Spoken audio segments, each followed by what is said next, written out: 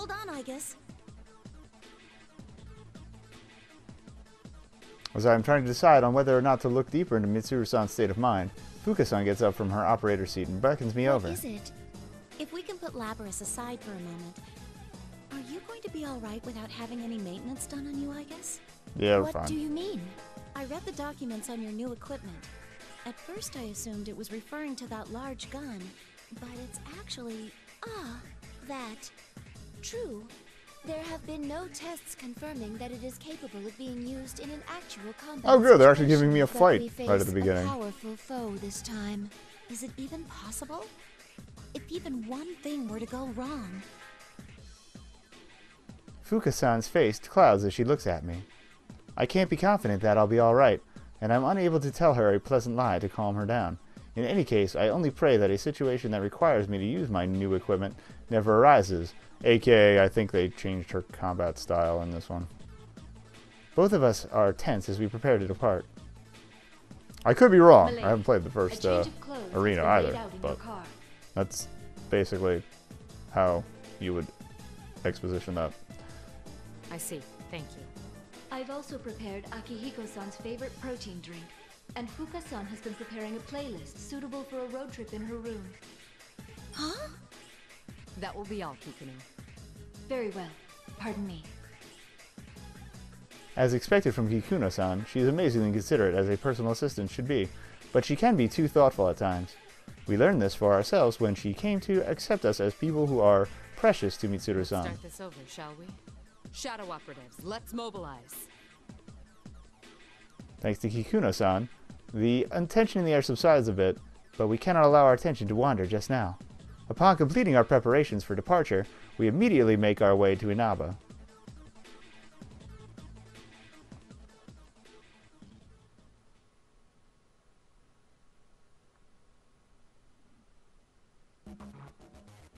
Why are we taking this car again, Mitsuru? Akihiko-san grumbles from the back seat of the Shadow Operative's personal limousine. I'm not sure how to put this, but I find that his feelings are justified. Don't question it, Akihiko. There was no time to prepare a vehicle with the same equipment. Speaking of appearances, are you gonna wear that again? Sure. There's a chance that we'll have to fight after all. These clothes give me the flexibility I need. AKA, we didn't want to redraw all the sprites from the last one. Impressive, Akihiko-san. You never change. Literally. Still, to think that the culprit would make a move so soon. We've completely lost the initiative. Indeed. We need to begin taking measures right now. I only hope no danger comes to Narukami and his friends. Mitsuru-san seems deeply agitated. During the car ride, she seemed distracted. Tense shift. At times, she would flip through the thick file in her lap, only to suddenly give an order to a subordinate, and at other times she would stare intently at her watch as if lost in thought. Her usual regal composure is gone. Mitsuru-san, why don't we just ask them to cooperate with us? Ha! I agree. They seem Oh, uh, she strong. he, she means the uh, the group from P4, No, they're still young. the investigation If I investigation asked team. for their assistance, it would waste time better spent at school. Worse yet, it would put them in danger. I don't No, want they don't break. to have to go It's all good. It's all good. I understand how you feel, but they don't seem like the kind who'd listen. No, we That the too. same way back then. I forget what the time gap is between three and four. Mitsuru-san falls silent. It's likely not a mistake to think that the sudden spike in shadow activity this time is related to the events of a few days ago. It has become apparent to everyone that another dangerous battle is about to begin. We have new information. Kikuno sent me a message. Great. I tasked Kikuno with reviewing Ergo Research's quarantine server. Okay. But it seems new evidence has come to light regarding Ikutsuki, who we discussed in our earlier conversation. Okay. According to the report, it seems Ikutsuki was performing an experiment on his own in the lab directly after the explosion. Okay. It's unknown if this is related to our current mission, but there was a record of a plume of dusk being used in the experiment. Okay. A plume of dusk. A plume of dusk, an object that blurs the line between matter and information, and is fitted into an anti-shadow weapons like myself. It forms the core of our personality modules and is what allows us to control personas, even though we are machines. So, What are the details of this experiment? Nothing good, I bet. Of course not. Ikutsuki was.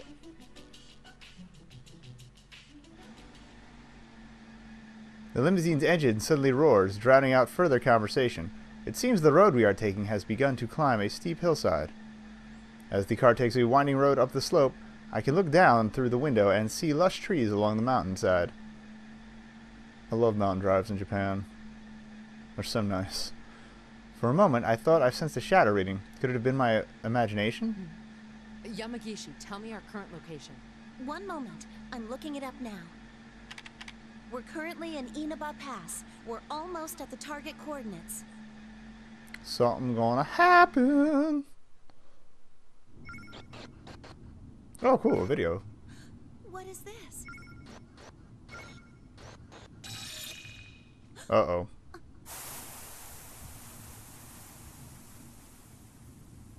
Was that? What's wrong?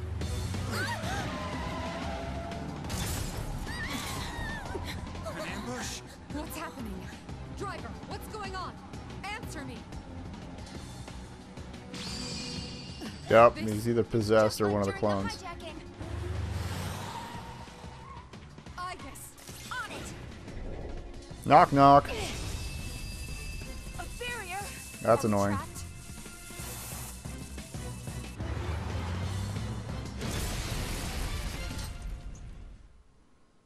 Did you really need to drive it off a cliff? I mean, we know what happens. They get captured, but you could have just driven to, like, an offload point.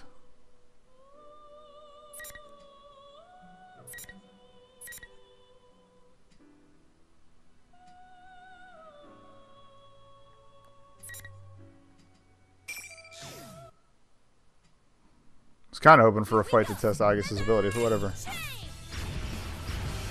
Oh. No, she's a Sentai star now.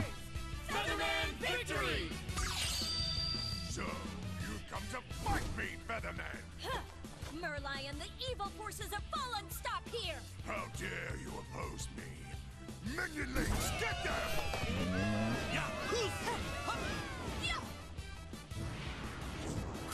Apparently she's too good for flips.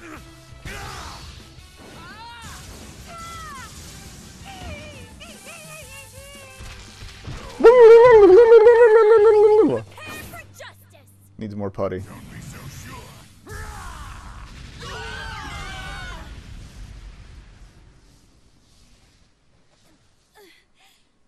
Everyone, I've had enough of this!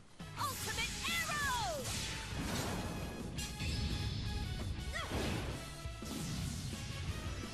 It's over! Dick locked. Straight up killing a dude.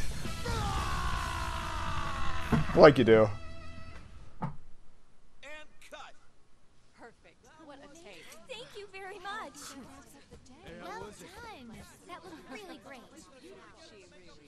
Now do it again, but slower. Forgot to take the lens cap off.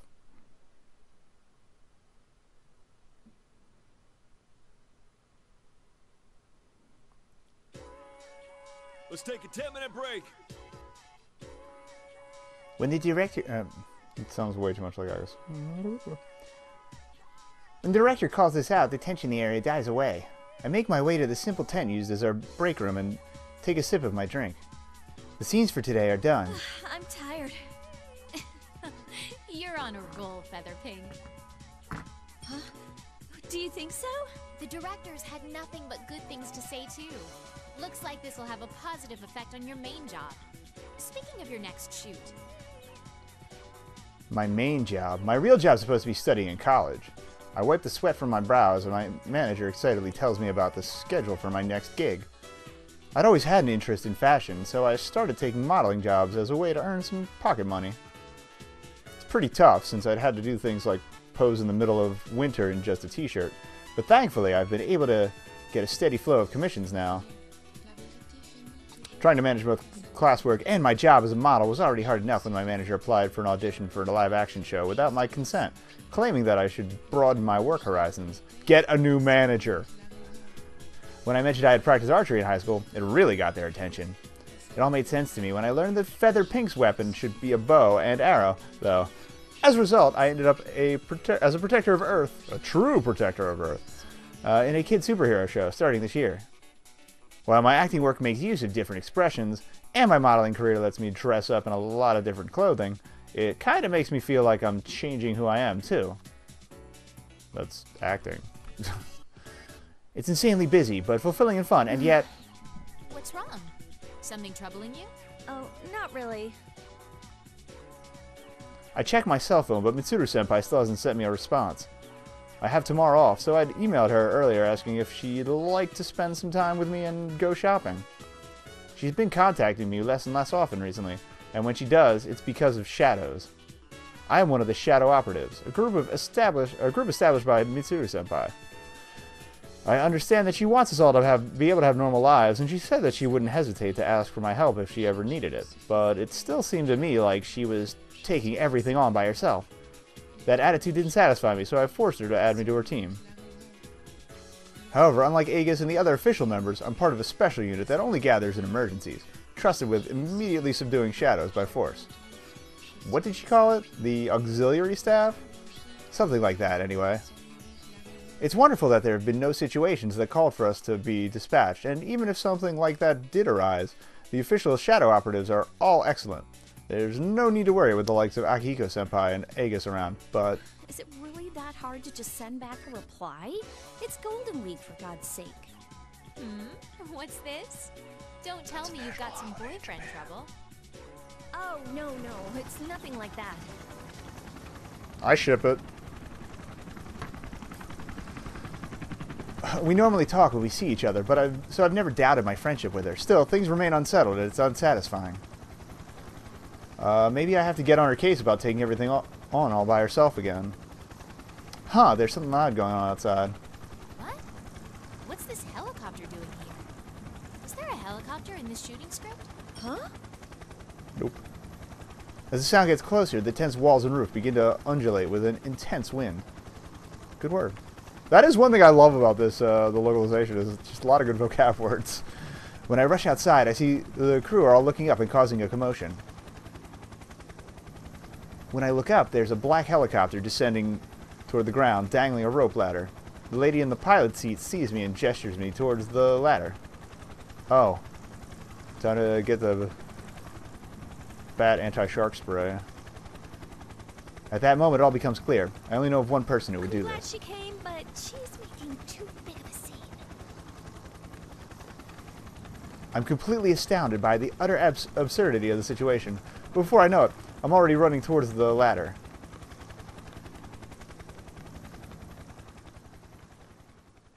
And nobody from the shoot questions this. Like, hey, maybe confirm that you're done for the day.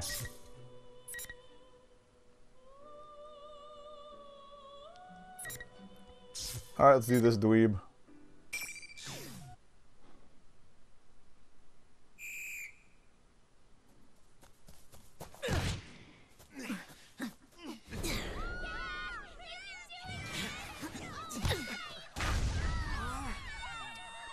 Ladies love spear wielding nerds.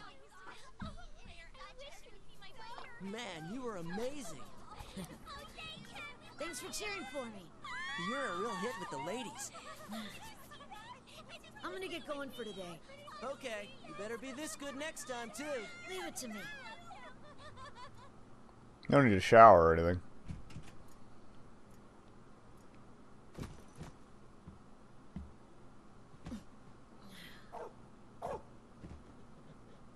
Puppy! I'm home, Koromaru.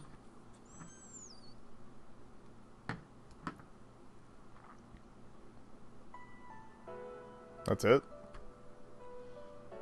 There's some time until dinner, so I decided to leave the main dorm again with Koromaru.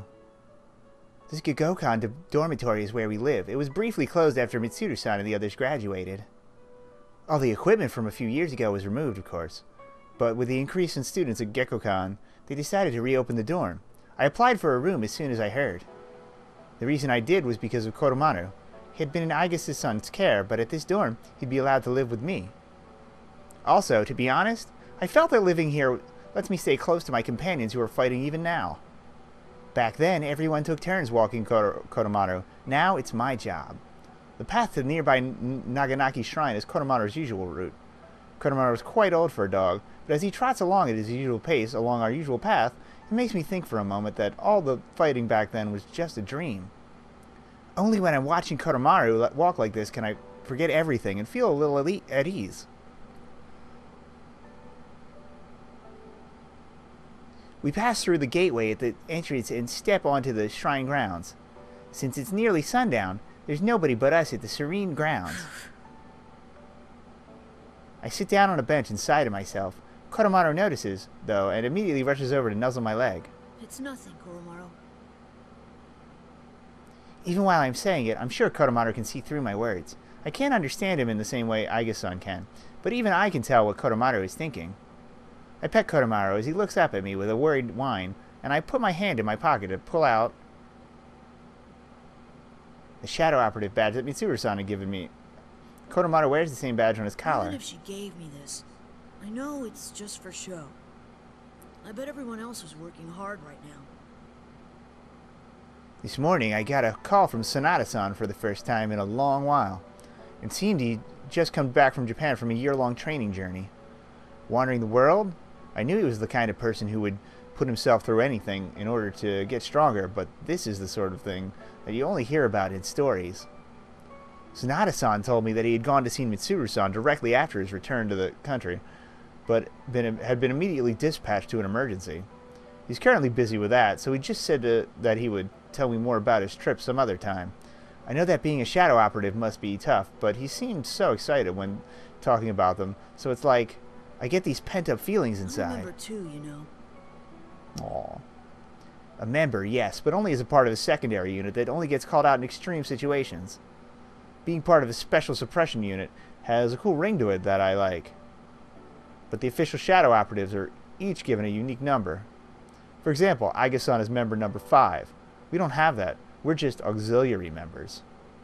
I haven't been called into action yet, and I doubt I ever will be until after I graduate high school. After all, I did promise Mitsuru-san that I would try to live out my childhood as much as I I'm could. just for show too. And following that promise to try as much as I could, I've been acting like a child on the surface, an average middle school student, studying, helping out with club activities, and even taking part in the student council. But I haven't officially joined any clubs, and the reason why is because I asked Mitsuru-san to call me for help if she ever needed it. I know that no organization under the police would be able to command an underage person, let alone someone in middle school. I'm only a shadow operative for show, and only a child for show. If this continues, I won't know when I'll ever be able to go back to who I really Making am. my life my own is actually pretty hard. Sometimes I lose sight of what I'm supposed to be doing.